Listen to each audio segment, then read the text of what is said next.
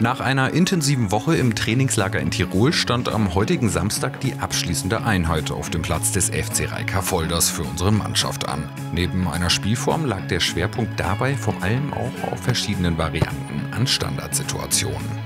Es war jetzt eine intensive Zeit, eine anstrengende Zeit, aber das ist normal. Wir sind im Trainingslager. Ähm, ich glaube, die Spieler sind dann doch auch froh, dass es jetzt dem Ende zugeht. Ähm, morgen nochmal das Spiel und dann geht es auch wieder nach Hause. Ich glaube, wir können sehr viel mitnehmen, haben aber trotzdem noch sehr viel Arbeit vor uns. Bevor es zurück nach Heidenheim geht, muss sich der FCH im zweiten Testspiel des diesjährigen Sommertrainingslagers nochmal beweisen. Dem 1:0 Sieg gegen Dynamo Dresden am Mittwoch soll nämlich gegen den rumänischen Erstligisten CS Craiova ein sportlich erfolgreicher Abschluss für die Zeit in Österreich folgen.